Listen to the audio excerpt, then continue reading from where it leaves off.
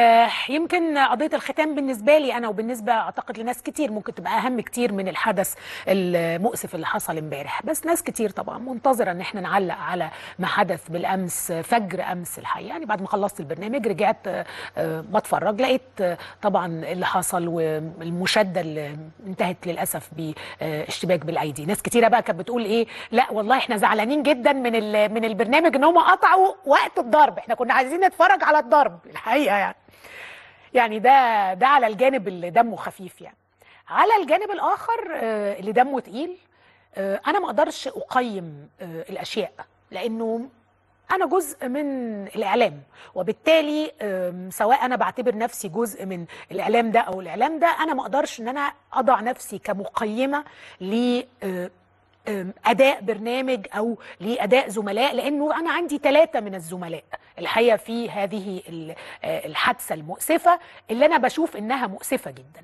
فأنا ما أقدرش إن أنا أضع نفسي آه، لتقييم وأقول ده الإعلام الصح وده الإعلام الوحش لا ده بيحصل بره لا ما بيحصلش بره آه، ما أقدرش إن أنا أقف مقيمة. أنا مش دوري إن أنا أقيم الجمهور يقيمني الجمهور يقيم زملائي الجمهور هو من يقول يعني إيه الصح وإيه الغلط؟ آه، وأيضا أساتذتنا بيقولوا لنا وإحنا بنسمع لاساتذتنا والقانون هو اللي بيضع الضوابط. وأنا بحترم القانون وبلتزم بالقانون جدا وإحنا قبل ما بنطلع لكم على الهوا اوعوا تفتكروا ان إحنا بنطلع كده نقول الكلام من دماغنا. إحنا بنقعد أنا وفريق البرنامج وأنا والاستاذ محمد هاني في نقاشات متواصلة متواصلة. أنا ومحمد هاني في نقاشات متواصلة لقبل الهوا بثلاث دقائق على ما يصح وما لا يصح على ما ما يجب وما لا يجب على إيه اللي يتقال ويتقال إزاي.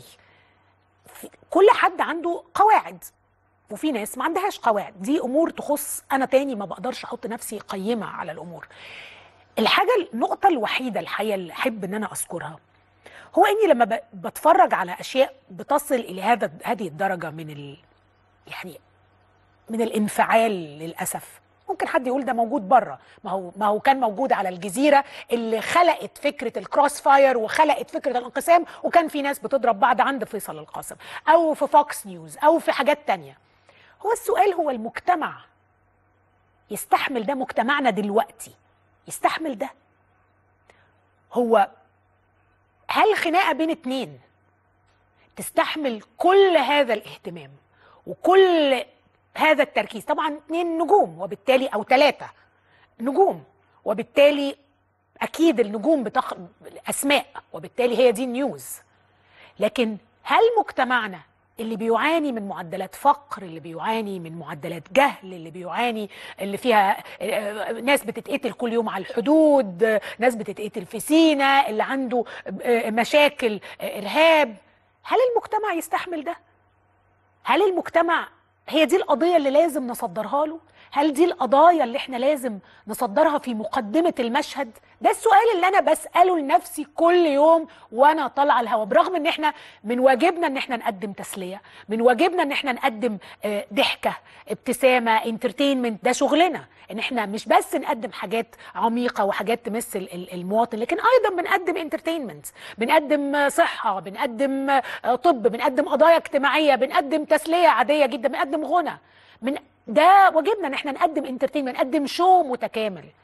لكن نوع ال show ده هو اللي إحنا بنقعد نتناقش فيه كل يوم بدقة شديدة جدا لدرجة إن إحنا فعلا بيبقى عندنا حسابات معقدة جدا قبل ما نطلع على الهوا. مرة أخرى لا أستطيع أن أقيم ما قام به زملائي. ما كنتش أحب أتفرج على المشهد ده. وفي ناس تانية كانت تحب تتفرج على المشهد كامل.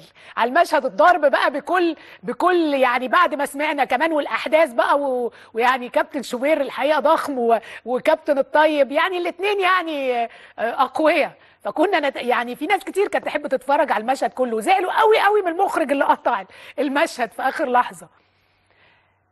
لكن هو السؤال إحنا بنقدم إيه للناس؟ بنصدر إيه للناس؟ ده سؤال علينا كلنا إن إحنا نسأل نفسنا ونجاوب بضميرنا. إحنا بنكسب إيه وبنخسر إيه؟ ممكن نكون بنكسب مشاهدة لحظية الآن لكن بنخسر إيه؟ بنخسر ناس مشاهدين آخرين بيزداد الاحتقان. إحنا بنزود الاحتقان في هذه الانقسامات بيزداد الاحتقان. آه، آه، دعوة تاني أهلي وزمالك وزمالك وأهلي وابتدينا كل واحد يقف يقف قدام التاني. تاني احتقان. البلد مش محتاجة احتقان البلد محتاجة تتلم. محتاج كان نفسنا الجماهير إحنا عايزين ندعم الجماهير إنها ترجع تاني للكورة. البلد محتاجة تتلم مش تتفرق.